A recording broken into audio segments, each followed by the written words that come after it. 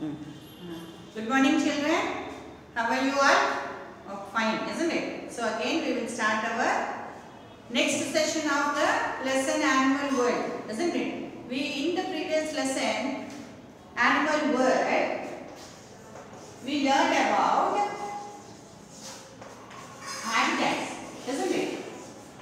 In the previous lesson we learned about the habitats. So what is a habitat? A habitat is a place where an animal lives or is found naturally is called its habitat, isn't it? So in that habitat what will happen is that animal will find its everything. It find its shelter there, it find its food there, everything it will find in its own habitat. So in that way we have learned about different types of habitats. What are the different types of habitats that we have learned in the previous session of this animal world lesson? We have learned about the forest. Forest is one of the habitats.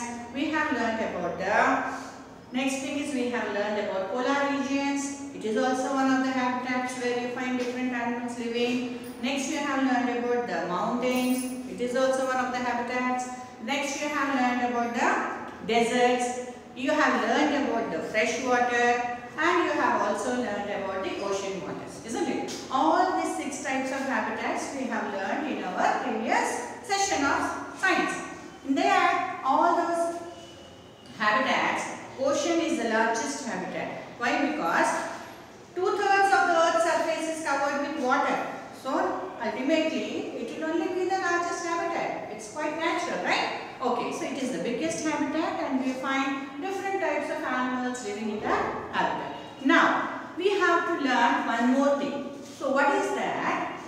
These habitats, animals live in these different types of habitats. In order to adjust to these habitats, they have special body coverings. What do they have? They have special body coverings. So, today we will cover the topic of body coverings in animals. So, today we are going to learn about the body coverings in animals. Now, when I tell you about the body covering, what is the thing that comes into your brain? You will think, okay, we humans, we have, we wear clothes, isn't it? In depending upon the seasons, we change our clothes, isn't it? If it is summer season, you wear like cotton clothes to suit that climate. Again, if it is rainy season, you will use your raincoats or whatever. When you come to school, you will use your umbrellas. Because you have nice developed brain, you know what to do at what time. Yes or no? Winter season, what you will do?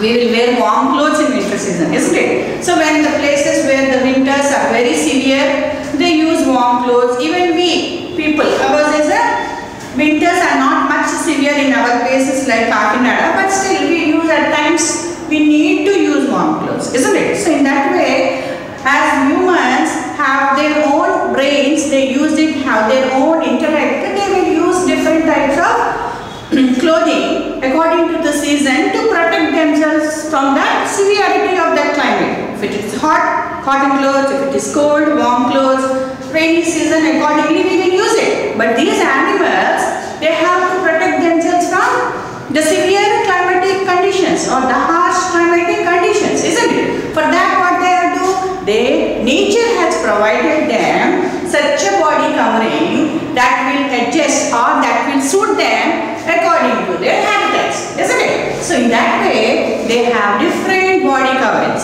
So the different body coverings that we will learn today are, first one is feathers, second one is fur, third one is scales, and fourth one is shells. Now when I shells. So these are the different body coverings of the different animals which will suit them to their habitats. Okay? Now let us learn about the feathers. When we talk about feathers, what is the foremost thing that get into your brain? Yes, feathers and hair. These feathers have, these are the body coverings of the birds. Where do you find feathers? Mostly in birds. Many types of birds you find body coverings, isn't it? The birds like sparrows, owls, hen, cock, all these have feathers, isn't it? Now, when their body covering is feathers, it must have some functions. It must have its own use. So what is the use of these feathers to the birds? Are you having feathers? No. These birds are having feathers. Now why are these birds having feathers? How do these fe- feathers help the birds? Now these feathers are the for the birds and these help them to keep their bodies warm. To keep the bodies. These feathers to keep the bodies warm. They keep the bodies warm and at the same time they protect them from the cold and rain. They to keep the body warm and they protect from they protect from these feathers. They and you hear feathers. Feathers protect from rain and cold. They protect the birds from rain and cold. And moreover, they also protect it from moisture. They also protect from moisture. Now what do you mean by moisture? Moisture is their wetness, isn't it? So, if they are continuously wet, if the body is continuously wet, what will happen? It will damage the skin, isn't it? So if they damage the skin, it will cause wound to the body of the bird. So these feathers protect the birds from moisture. For example, you see even your body, if you continuously keep yourself in water, you will be damaging your skin, you will become sick. Sometimes in only, not only that, see in the rainy season, if you roam about without uh, uh, wearing any footwear in the water continuously, what will happen? You will get some infection in your fingers, in your toe, isn't it? So that cause, that is nothing but the fungal infection. So in the same way, if they are in the water continuously, they will damage the skin. So these feathers help to prevent them from moisture. So body coverings, birds have body coverings as feathers and these feathers they keep the bodies warm and they also protect from rain and cold and at the same time these feathers protect them from moisture. So this is about the feathers, one of the body coverings of animals to suit their habitat. They have feathers. So, the next one is fur. So, let us learn about the fur. Fur is another body covering. So, fur. Fur is also nothing but a very thick hairy coat or hairy covering of the body. This is called as fur. A very thick hairy covering is fur. Thick hairy covering is fur. So, this is also a very thick hairy covering. So this is fur, this is mostly found in the in sheep, you find this hairy covering in sheep, yak, bear. These have very thick hairy covering and this hairy covering helps them to keep the body, they have helps them to keep the body warm because sheep and yak we find them mostly in the hilly regions and in the hilly regions the climate is very cold. So here this sheep, no, sheep has very thick fur. For example, in Kashmir, place you see, it's very cold there, isn't it? So very cold. So the sheep have a very thick fur on their body. So that thick fur is taken and it is made into wool. And from that wool, they do warm clothes. So those warm clothes, how are they useful? Those warm clothes are worn when in winters. So the wool of the sheep of Kashmir is very famous wool and they make warm clothes, different types of warm clothes. So one of the warm clothes that is made by the Kashmir people is Kashmiri shawl. Shawl, you know, a big cloth that you cover yourself with to protect yourself from cold. And these Kashmiri shawls are very famous. They produce very fine qualities of these Kashmiri shawls and these are very famous across our country and moreover they are also exported to other countries. They are also very fine quality of these Kashmiri shawls is exported to other countries. So in that way this wool of the this fur of the sheep which is made into wool and out of which these warm clothes are made and these are very famous. So in this way, fur is one of the important body coverings of animals like sheep, yak and bear. They also protect from cold and rain. These also, this is also one of the body coverings of the animals which are found in the mountain because they have adjust to that habitat. So this is about the fur. Now let us learn about the scales. Scale is a, another body covering. So let us learn about the scale. Now, where do you find these scales? Now, these scales are found on the bodies of lizards, snakes, lizards, snakes, fishes. So they have scales on their bodies. Scales on the fishes, they have been overlapped on another, overlapping. So they have been overlapped on one another like this. So this helps the body of the to reduce the loss of water from their bodies. These help in these scales, they help in reducing the loss of water from their bodies. So these help in reducing the water. So in the same way, the snakes also have scales on their bodies, lizards also have scales on their bodies and these help. So these scales not only help them, some scales in the snake body that help in their movement also. They help them to move, crawl.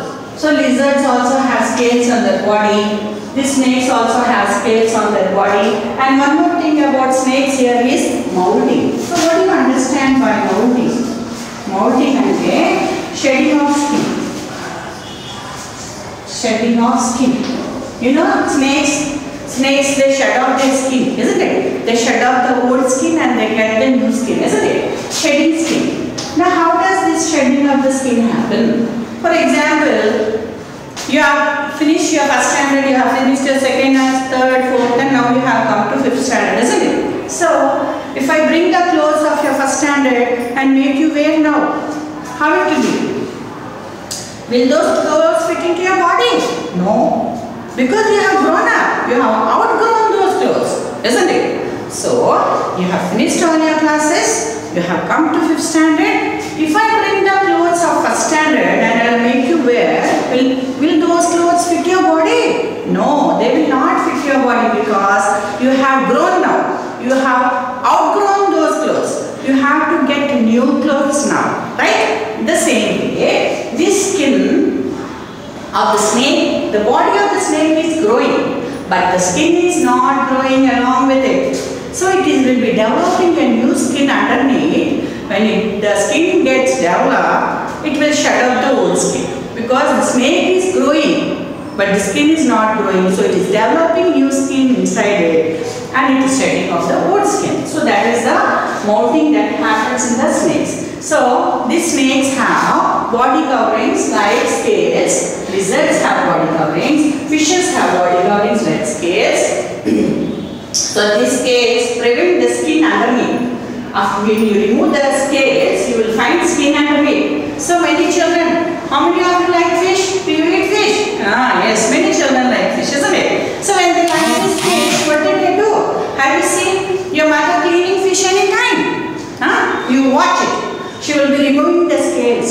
When they remove the scale, you will find the skin underneath it, isn't it? So these scales, they prevent the loss of water from the bodies of all this. And they are one of the coverings, well, coverings of the body, body coverings for the aquatic animals. Because these animals live in water. We have snakes that live in water also, isn't it? So lizards are live on land, but they too have a uh, scale as their body covering and that prevents the loss of water from their body. So we have learned about so we have learned about the body coverings feathers, we have learned about fur, we have learned about the scales. Now let us learn about the shell.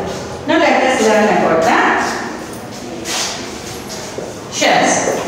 Now how do these shells help? Shells are the body coverings of the animals. So, these shells are very strong and hard. These are the body coverings of animals like tortoise. These are the body coverings of animals like tortoise, snail, etc. Isn't it? So these are very strong and hard. And these coverings help the animal inside it. It's made of calcium carbonate. That shell, for example, you take the shell of a snail snail, isn't it? It will be carrying its shell on its body. If there is any attack from its enemy, make its body, it go inside it, isn't it? This is the snail. Snail అంటే Telugu it is called as natta, isn't it? Have you ever seen a snail any time? Now you go and uh, going, you will be going to these beaches. You go to the beaches, you find different types of shells. Oysters ఉంటాయి, isn't it? Oysters, clams, all these are the shelled creatures. Inside there will be a living creature. And this is called as the exoskeleton. They carry skeleton. This will prevent the body from any harm from their enemies. For example, this tortoise is there now. It will also have a big shell on its body. Isn't it? So this shell will prevent the body from its enemies and moreover they draw their head inside. If there is any attack from the if there is any attack from the animals, they draw their bodies inside, isn't it? And the legs also, they draw them inside and this shell will protect them from their enemies. In that way we have oysters, we have clams, pearls, do you know pearls? They are found in the inside oysters. So two things will be covered like this. So this is the shell. You see this one? Shell isn't it? It will be covered like this.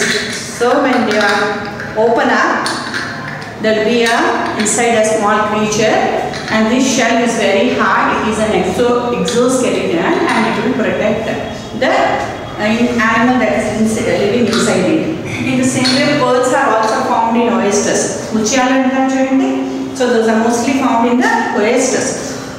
what do they do is if any foreign body enters, they excrete something in their body and that will turn into a pearl after some times. Nowadays they are rearing, rearing these oysters and all, into, isn't it? Freshwater oysters and seawater oysters will be there. So now they are rearing. So this is the main outer covering to them and this shell will prevent from their attack from the animals, isn't it? So in this way, snails have an outer covering known as a shell which will, this is the exoskeleton and this will prevent the creature that is inside and here you have tortoises. Tortoise also have a big shell on its body and it is when it uh, feels any danger from the enemies it will draw itself inside, isn't it? And this way this tortoise will protect itself from the enemies. Now, one more thing you must know here is the difference between a tortoise and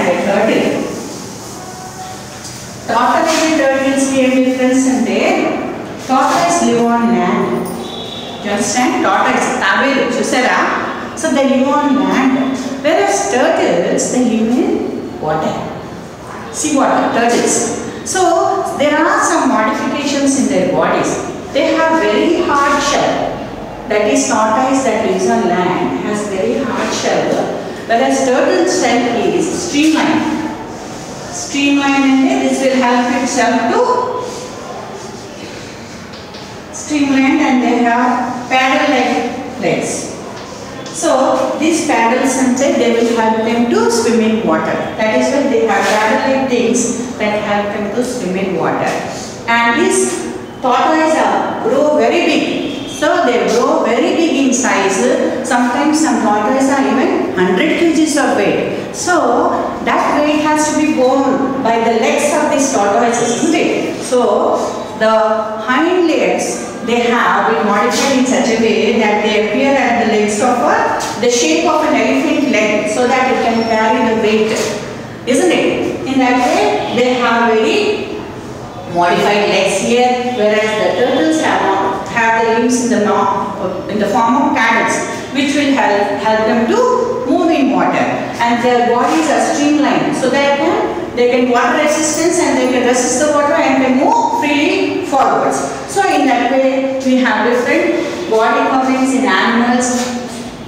What we have learned is feathers, fur, scales, shell. Now for example, you take human beings, we are living on the land now. So see the bo- body covering, skin you have all over the body and little hair you find. In the same way, cow you see, cow is also lives on land along with you. See the skin of the cow, how it is? Normal skin, isn't it? With light fur. In the same way, if you see the skin of the desert animal, camel, camel you said because it lives in the desert, its habitat is desert, so its is, uh, skin will be very thick, isn't it? Because it has to live under such hot conditions, so it will have a thick skin, and that skin is thick because it has to prevent the loss of water from its body. Now we sweat, we perspire, lot of sweat is coming out of our body. That means we are losing water. Yes or no? So we have to see that less water comes out, that animal, because it is living in desert. That is why it has a thick skin. So less of water is lost from its body. In that way, they have different uh, body coverings in order to survive in that habitats and so we have learned about the different body uh, body coverings of different animals which is suited to their habitat. So among the body coverings that we have learned today are feathers, fur, scales and shells. Is that all clear all of you? So now we will be learning about the movements in animals, the next part of the lesson in our next class. Till then, goodbye. Thank you.